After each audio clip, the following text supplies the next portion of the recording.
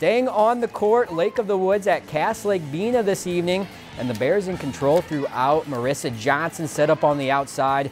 She spikes it home for authority and the point, then match point later on. But Cass Lake Samantha Nupson just a little short on the serve. Lake of the Woods would win this one three games to zero. If you've enjoyed this segment of Lakeland News, please consider making a tax-deductible contribution to Lakeland Public Television.